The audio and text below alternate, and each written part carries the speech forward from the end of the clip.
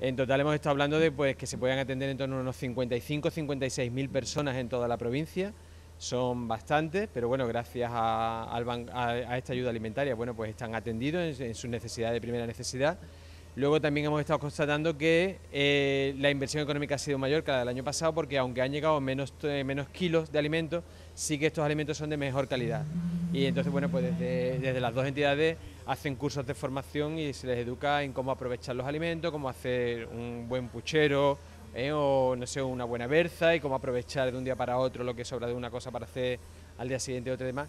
Entonces ese es el otro trabajo paralelo que se hace que de alguna manera permite que estas personas que están en esta situación de vulnerabilidad puedan salir de ella.